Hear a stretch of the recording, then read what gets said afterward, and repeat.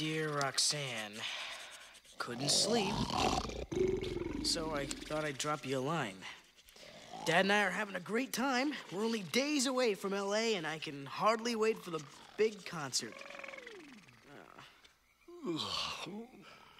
More high dad soup, please.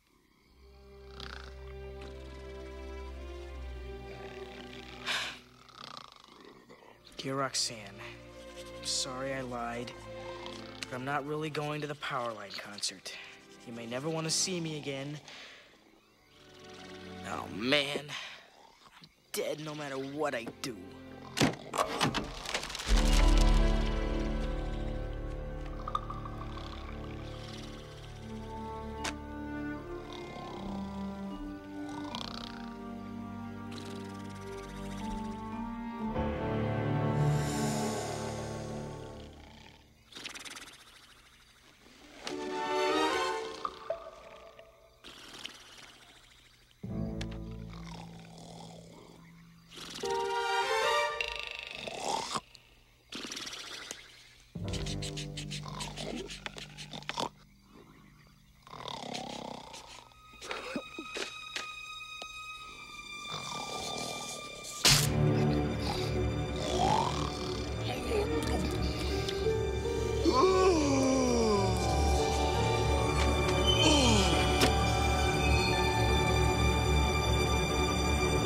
How many cups of sugar does it take to get to the moon?